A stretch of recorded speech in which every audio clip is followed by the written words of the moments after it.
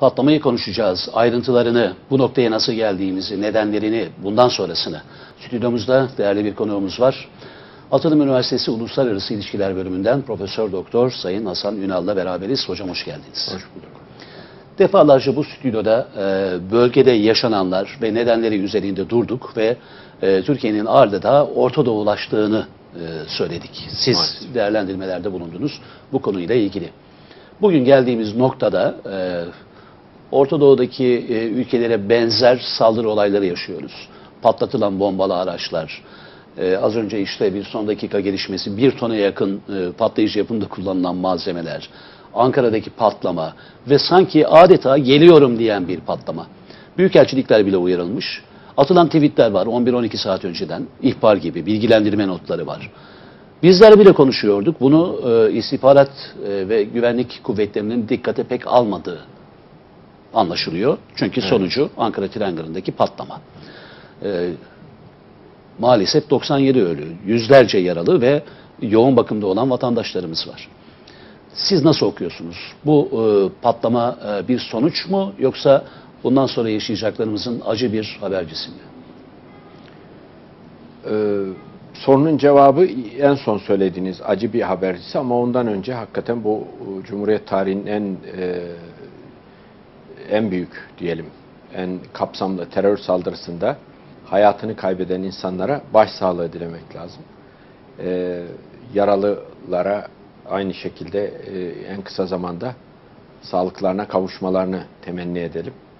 Ee, şimdi sorunun cevabına gelince dediğim gibi bu belki de bundan sonra yaşayacaklarımızın da bir e, başlangıcı olabilir. Başlangıcı olabilir, şunun için başlangıcı olabilir. Ben size şu soruyla cevap vereyim. Ee, bundan 5 sene önce, 4,5 sene önce diyelim. Hani 2011 yılının Mart ayını alalım. Biz o gün e, akşam yattık Türkiye olarak, Türkiye'yi idare edenler olarak. O güne kadar işte kardeşimiz, dostumuz vesaire dediğimiz Esat'la sabah bozuşmaya karar verdik. Ben basitleştirerek anlatıyorum en kolaydan anlaşılsın diye. Mesela Mart'ta biz bu kararı verdik. Yanılmıyorsam Şubat ayında o zamanki Başbakan Erdoğan Şam'daydı. Yine iyi ilişkiler içindeydi her şey. Ee, kamuoyuyla da doğru dürüst paylaşılmadan girişilen bu Suriye operasyonlarına na Mart ayında başladık. Şimdi ben size sorayım. Ee, Mart ayında IŞİD diye bir örgüt var mıydı 2011 yılında? Ha, şimdi mesela bu katliamları yaptığını düşündüğümüz böyle bir örgüt var mıydı? LKD unsurlarından söz edilirdi.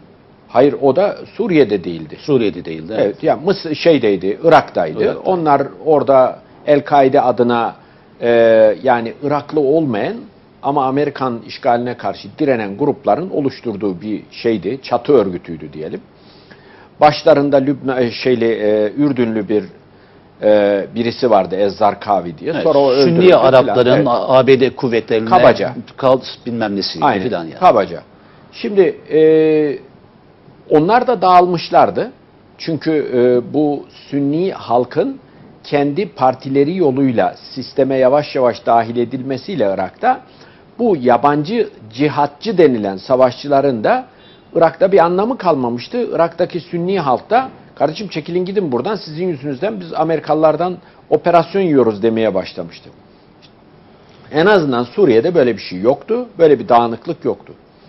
Başka şeylerden dolayı bakalım. Şimdi terör bizi vuruyor. Bu acılar bizi vuruyor ve tabii ki feryat ediyoruz haklı olarak. E, o e, görüntüsü hepimizi hüzne boğan Aylan bebek vardı. Şeyde e, Bodrum açıklarında Bodrum'da. bulunan cesedi Bodrum açıklarında bulunan. Şimdi o bebeği düşünelim. Onun ailesini düşünelim. Bugün Suriye'nin nüfusunun neredeyse yarısına yakını ya Suriye'nin dışına çıktı Ya Suriye içinde yer Türkiye, değişti. İran ve Lübnan, e, Türkiye, e, Lübnan ve Ürdün başta olmak üzere ya da Suriye'nin içinde yer değiştirdi.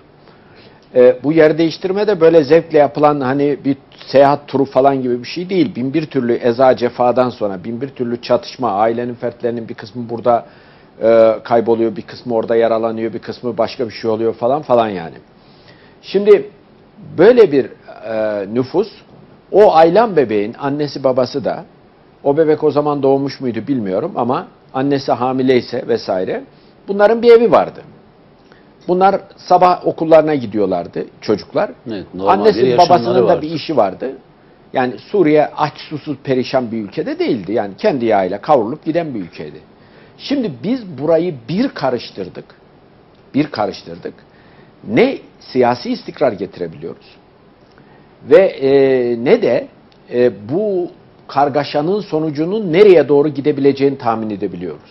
Mesela 3 ay önce bundan, hadi diyelim ki 6 ay önce, 3 ay önceden hafif hafif e, işaret vermeye başlamıştı. 6 ay önce Rusya'nın iki filodan fazla uçak getirerek e, Suriye'deki değişik hedefleri vurmaya başlayacağını, Hazar'dan atacağı füzelerle yine Suriye'deki hedefleri vuracağını tahmin edebilir miydik? Evet. Ha öngörüde bulunursunuz dersiniz ki yani Rusya bu işten çok rahatsız oluyor, şu olur, bu olur falan filan. Şimdi devamen, şimdi bunun sonucunda ne olacağını gene bilmiyoruz. Biz şimdi habire Esad gitmeden biz bu işten, bu davadan caymayız, vazgeçmeyiz saplantısı içinde olduğumuz için tamamen ipleri kopardığımız ülkeler listesine adeta bir de Rusya ekledik şimdi. Daha önce ne yapıyorduk? En azından Rusya ile Suriye konuştuğunda aramızda anlaşmazlıklar olsa bile bunu bir şekilde şöyle bir ayrı kompartmanda tutuyorduk. Rusya ile ticari ve ekonomik ilişkilerimizi götürüyorduk. Şimdi biz nelerden bahsediyoruz? Gazı Akkuyu'nun keser mi? Ha. Nükleeri yapar mı? yapar mı ya da yapmasın kardeşim başka birine mi yaptıralım?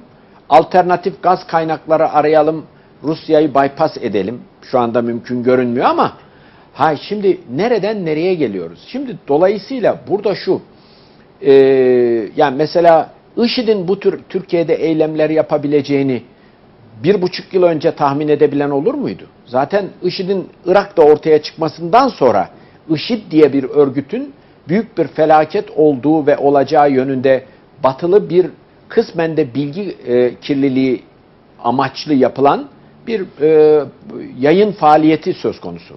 Doğru mu? E şimdi yani IŞİD'in bu tür eylemleri yapacağını kim nasıl tahmin edebilirdi? Ha buradan şuraya geliyoruz.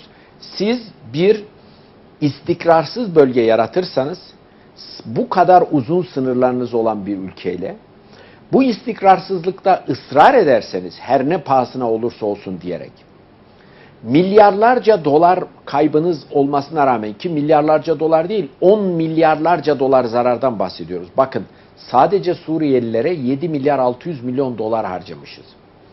Geçen şöyle bir baktım şu Çin'le Türkiye'nin hava savunma e, sisteminin e, yapılabilmesi için yani füze anlaşması denilen o anlaşmanın bedeli 3-4 milyar dolar civarında. Biz 7 milyar 600 milyon dolar Suriyeli mültecilere harcamışız. Bunu da övünerek anlatıyoruz. Ay bir de bölge ülkeleriyle bozulan ticari ilişkilerden Onlara bakın kayıplar falan geldiğinde Suriye ile ticaretten kaybettiğimiz, Suriye'yi transit yolu olarak kullanamamaktan olan kayıplarımız, hepsini alt alta getirdiğimizde muazzam ekonomik kayıplarımız var. Hiçbir ülke böyle bir durumla karşı karşıya kaldığında inatlarında ve ısrarlarında devam edemez, etmemelidir. Şimdi bugünkü Suriye politikası bir an önce değiştirilmeye artık muhtaç durumda. Çünkü bu politika Suriye'nin toprak bütünlüğünü bozmaya doğru götürüyor. Suriye'nin toprak bütünlüğü bozulmaya doğru gittikçe de içindeki IŞİD kendine bir e, alan buluyor. İçindeki PYD kendine bir alan buluyor. Bunların her biri PYD PKK adıyla Türkiye'de teröre dönüşüyor. IŞİD doğrudan IŞİD adıyla Türkiye'de teröre dönüşüyor ve bütün bunların faturasını ödüyoruz. Yani artık sürdürülemez bir noktaya gelmiş durumdayız. Yani eğer bu sorunuzun cevabı olduysa yani e, bu bundan sonra başımıza geleceklerin acaba bir habercisi midir? Öyle görünüyor. Tabii daha önceki Suruç, e, Reyhanlı patlamalarını filan da e, unutmamak lazım. Tabii. E, belki de öyle bir zincirin devam eden halkaları. Tabii bu Dileriz, arada e, şunu olmaz. da düşünmekte fayda Devamı. var. Yani bunu bu terör uzmanı arkadaşların çıkıp konuşmaları lazım ve konuşacaklardır eminim. Şimdi şu tür soruları sormak lazım. Birincisi IŞİD nedir hak- hak- hakikaten? Şimdi IŞİD'e baktığımızda IŞİD bir yandan Amerika ve müttefikleri tarafından bombalanan ama bir yandan da Amerika ve müttefiklerinin Irak ve Suriye'nin toprak bütünlüğünü bozma işinde Kullanılan. gayet iyi kullanılan ve kendisini de çok iyi kullandıran ilginç bir örgüt. Şimdi böyle de bir tarafı var. Yani Amerika ve müttefikleri IŞİD yoldan tırnak içinde yoldan çıkıp Irak'ta peşmergeye, Suriye'de PYD'ye saldırırsa gelip vuruyorlar onu. Ama Suriye'de Esad kuvvetleriyle savaşırsa, Irak'ta Irak merkezi hükümet kuvvetleriyle savaşırsa teşvik de ediyorlar o zaman IŞİD'i. Hani yap bunu diye. Şimdi o zaman burada bir gariplik var zaten bu IŞİD'in ortaya çıktığı şartlar bir sürü yani mesela IŞİD'in elinde e, en ciddi miktarda batılı silah da olabilir. Şimdi bunu diyorlar ki efendim Irak'taki merkezi hükümet kuvvetlerinin bırakıp kaçtığı silahlardan elde etti. Acaba? Yoksa Suriye'de IŞİD oluşurken sırf Esad'ı bunlar devirecekler diye batılı güçler bunlara silah mı verdi? Taliban örneği. Evet. Afganistan. Veya deniliyor ki efendim IŞİD'in elinde Rus silahları var. Rus silahları öyle bir şey ki dünyanın her yerinde herkesin elinde var zaten. Ama o silahların elde edilmesi ayrı bir süreç. Yani o silahlar elde edilirken herhalde Rusya götürüp bunlara elindeki envanterindeki silahlardan buyurun arkadaşlar diye dağıtmadı. Ayrıca Rusya'nın dış politikasına bakarsak Suriye'ye yönelik IŞİD'e destek vermeyeceği açık. O halde IŞİD'e Rus silahlar, Rus, Rus menşeli ya da Doğu, eski Doğu Avrupa menşeli silahlar nasıl gitti? Çünkü o bölgelerde işte Amerikalılar vardı, Türk istihbaratı vardı, diğerleri vardı değil mi? Bu nasıl oldu? Yani burada karışık bir sürü şey var IŞİD'le ilgili olarak. Ayrıca başka karışık şeyler de var. Mesela bu Türkiye'nin PKK operasyonuna başlamasından bu yana Amerikalıların bu işe çok içerlediği açık. Resmi ağızlardan bunu söylemek istemiyorlar. Kaldı ki orada da bir ileri adım attılar. Dediler ki PYD bizim için terör örgütü değildir. Bundan sonra daha da sıklaştıracağız Aynen. temaslarımızı. Hatta şimdi Eğit Donat'tan sonuç alamadık ve bu işi kapattık biz. PYD Hatta ile şunu devam demeye edeceğiz. getiriyorlar. Biz Eğit Donat'ı da işte Türkiye'nin tatmin olması için başlatmıştık ama bir şey çıkmadı. Ama biz Eğit Donat'ta artık PYD'yi artık kendimize ortak aldık. Ha. Zaten bir yılı aşkın bir süredir Peşmerge'ye, PYD'ye ve dolayısıyla PKK'ya silah verdiklerini kendileri itiraf ediyorlar. Sadece Amerikalılar değil, bütün batılı ülkeler bu gibi konularda çok e, istekli davranmayan e, Almanya gibi ülkeler bile Peşmerge'ye, PYD'ye silah verdiklerini söylüyorlar. Şimdi bu arada Türkiye'nin PKK operasyonlarına kızgınlıklarını ise özellikle Amerikalılar işte eski büyükelçileri ya da bu e, düşünce kuruluşu e, mensupları gibi insanların ağızlarından söylettiriyorlar belki. Söylettiriyorlar belki ağır bir laf ama söylüyor onlar. Ama Amerika'da eğer bir eski büyükelçi, yakın zamanlarda Türkiye'de büyükelçilik yapmış birisi bizim bütün Kürt politikamıza Türkiye'ye darbe vuruyor, zarar veriyor.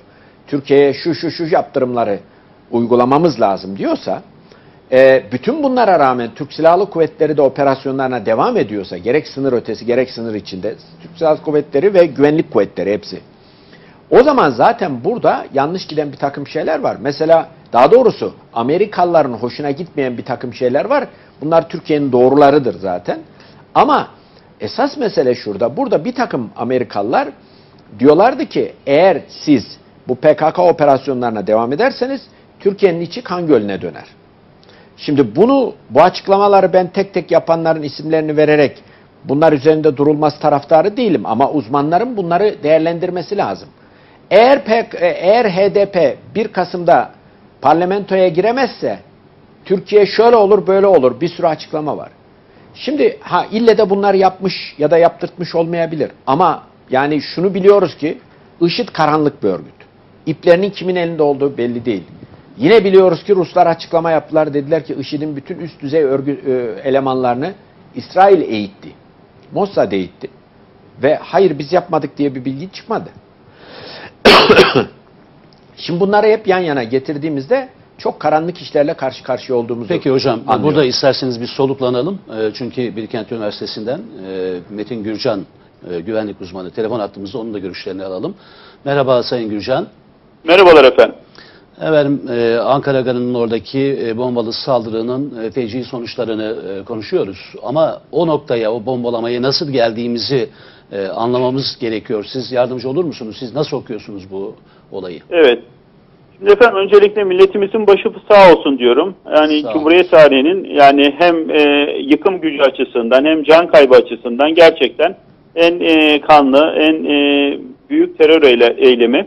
E, milletçe üzgünüz ve gerçekten şu vur- önemli noktaya dikkat çekmek istiyorum. Milletin e, moral omurgasını çatırdatan bir terör eylemi. Yani biz normalde teröre alışık bir milletiz ama Hani bu kadar da olunca ister istemez e, bu yaratmış olduğu artçı sarsıntılar, şok dalgaları ve zaten e, 1 Kasım'a doğru giden e, polarize olmuş, kutuplaşmış bir siyasi ortamda böyle de bir e, şok yaşayınca toplum ister istemez bir ayrışmaya doğru istemeden de olsa sürükleniyor.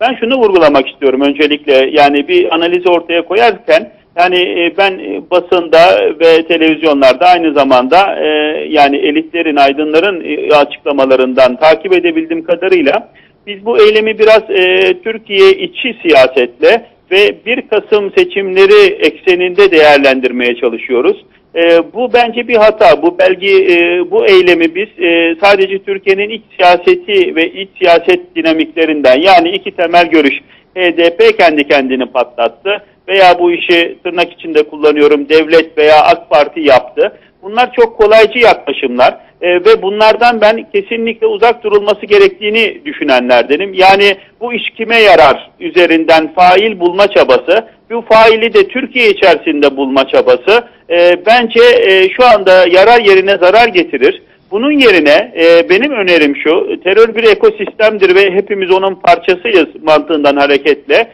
Eğer e, şimdi bakın bu tarz terör eylemlerinde temel özellik e, kişisel intikam hissiyle ve motivasyonla hareket etmezler. Mutlaka siyasi bir amacı var bunun.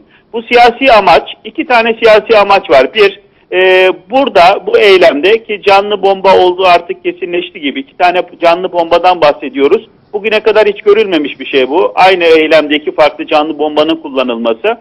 O canlı bombaları e, bu e, eyleme iten motivasyon sahipler yani onların kafasının içine bir girebilmek lazım. İkincisi onları arka planda azmettiriciler boyutunda bu işe sevk eden, e, bu işi organize eden, hani bunun bir e, şey gibi düşünün, e, sahnedeki yüzü bu iki canlı bomba, arkadaki nedensel mekanizma. Bu nedensel mekanizmada lider var, istihbaratçılar var, keşifçileri var, finansörleri var, bu tahrip düzenini, bomba düzeni hazırlayan ekip var. Yani burada e, net olarak bir şey söyleyebiliriz ki böyle bir eylem, böyle sofistike bir eylem en az bir 8-10 kişinin yaklaşık bir, bir aylık, bir buçuk aylık bir teşviki mesaisiyle ortaya çıkan bir hasıla. Peki sonuç. Sayın Gürcan burada zaman- hemen bir bilgi notunu paylaşayım. Ee, bu e, minvalde lütfen değerlendirmenizi de devam ettirin. Bu mitingin hazırlıkları e, 10 gün önceden başladı patlamadan ve e, kısa bir süre işte diyelim ki bir hafta kala da kamuoyuyla paylaşıldı.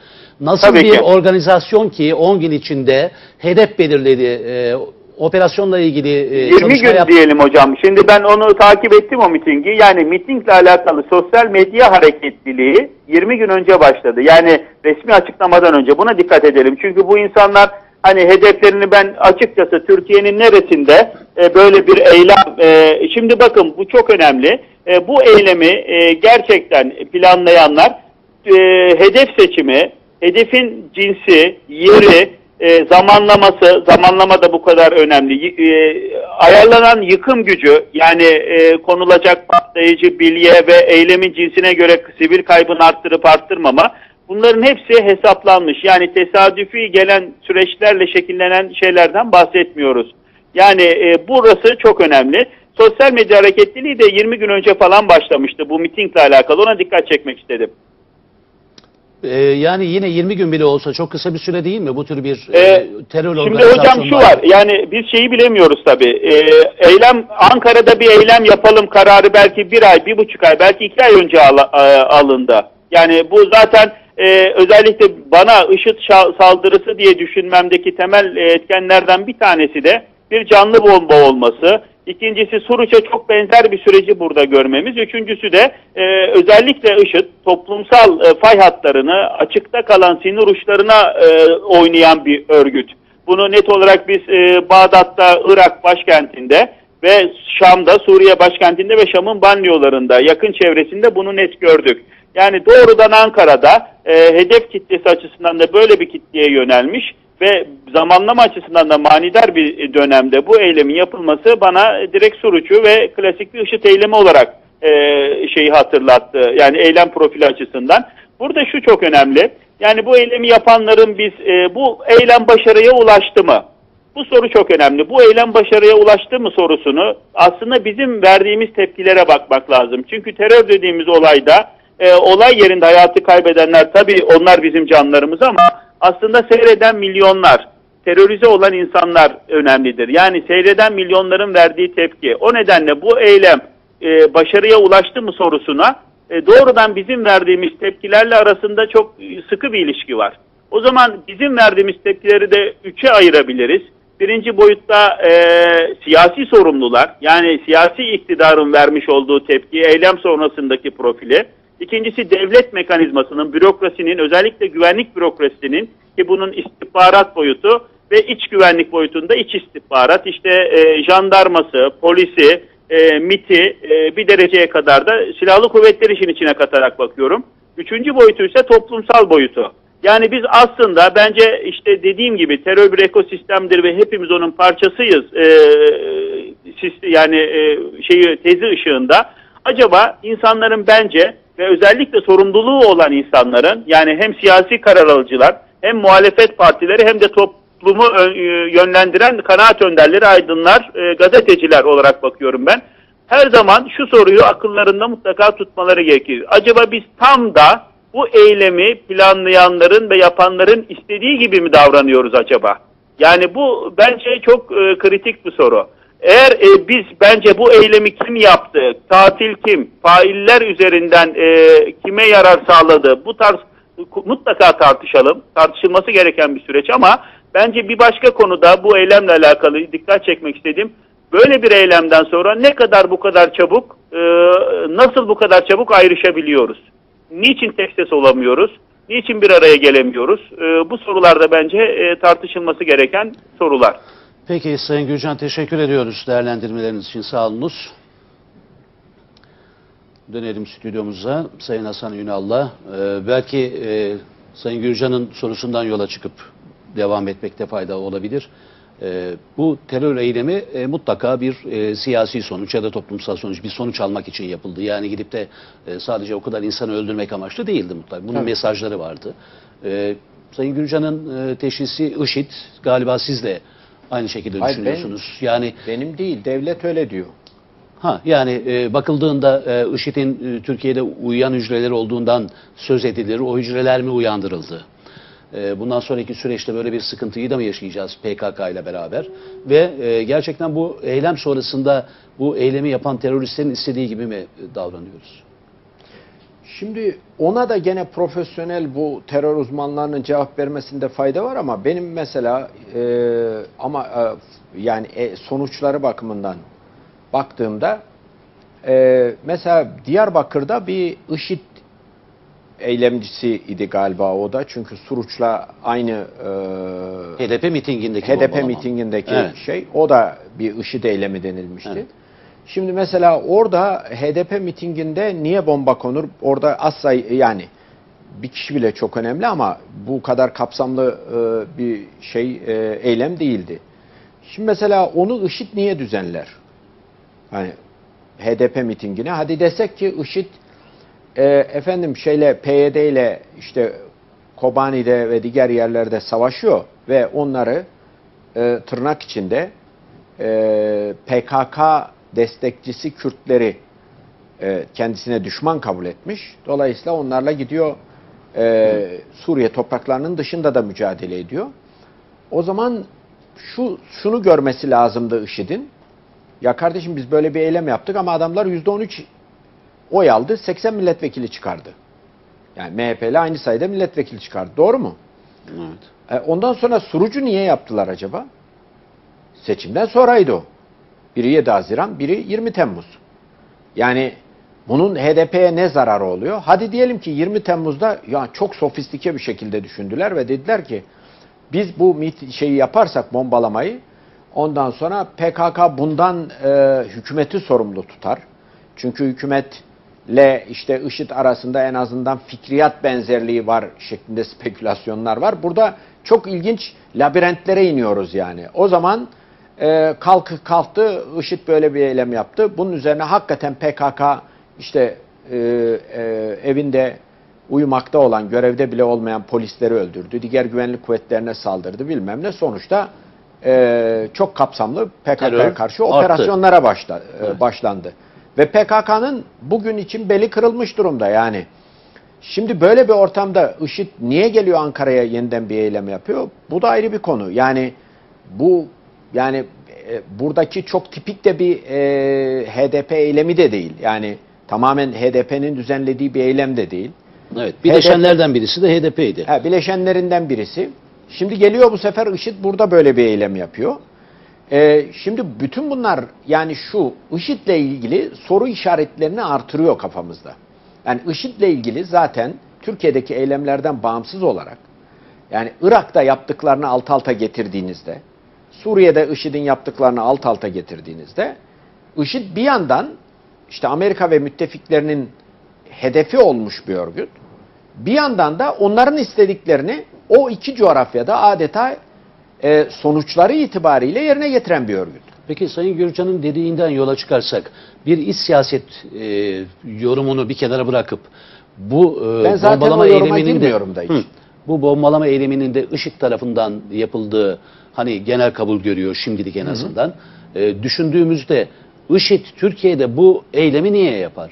Bir barış mitingini gider İşte niye aynen, bombalar? ben de oraya Ya geliyorum. da barış mitinginin bir özelliği yok da herhangi bir kalabalığa da mı yapabilirdi?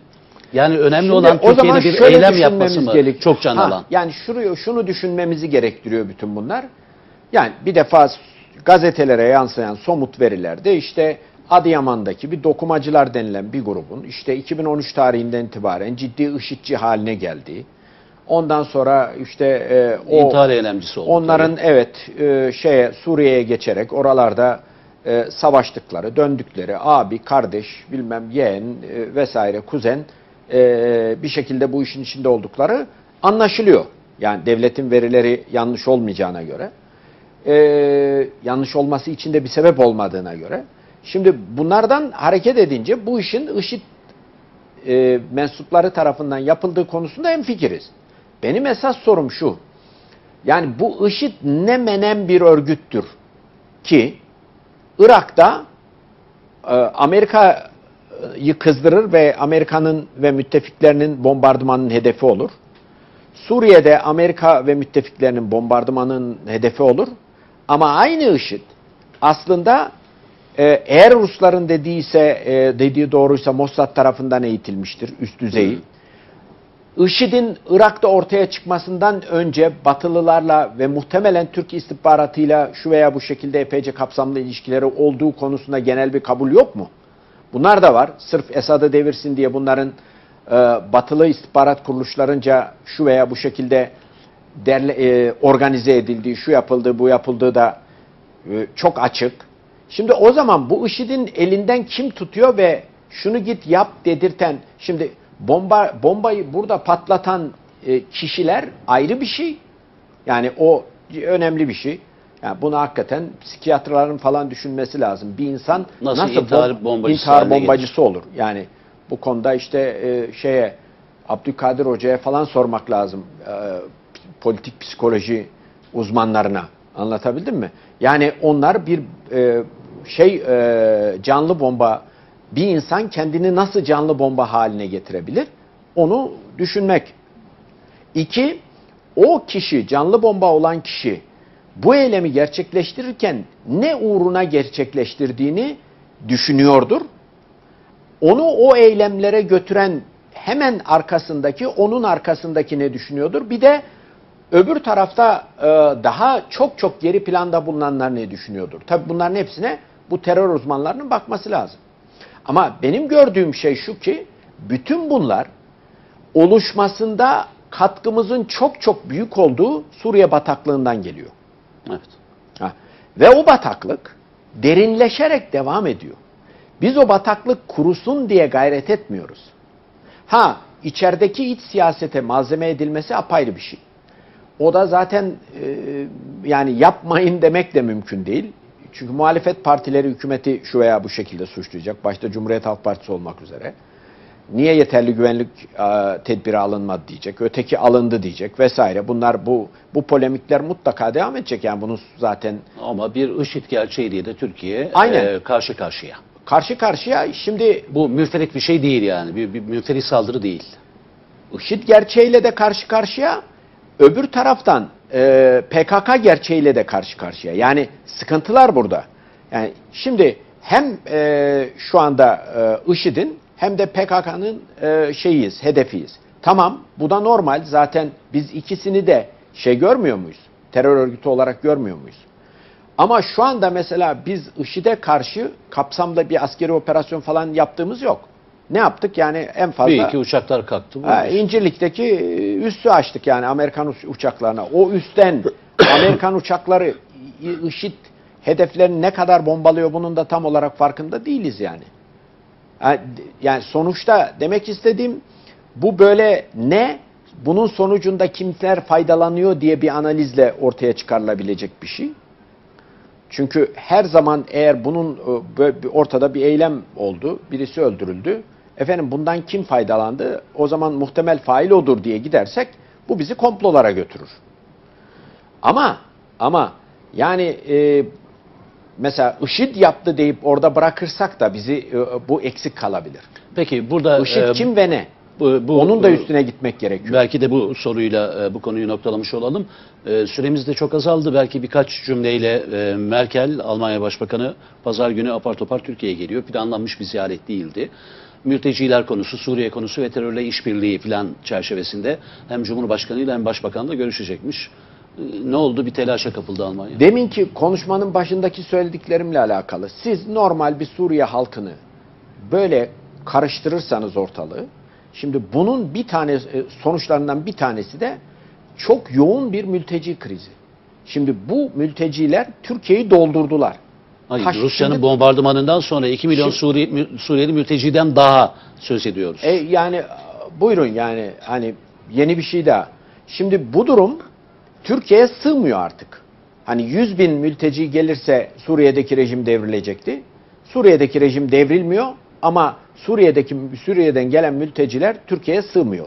Ne oluyor? Türkiye'yi taştıkça Avrupa ülkelerine gidiyor. Avrupa ülkelerinden de herkesin gitmek istediği ülkenin başı ülkelerin başında Almanya'ya geliyor. Ha, dolayısıyla Almanya Ha. e, paniğe kapıldı. Ha o zaman E, şimdi Almanya'ya. Fransa'ya hepsine şunu söylemek lazım. Ya kardeşim bu Orta Doğu ülkelerini bu şekilde karıştırmaktan vazgeçmelisiniz belki.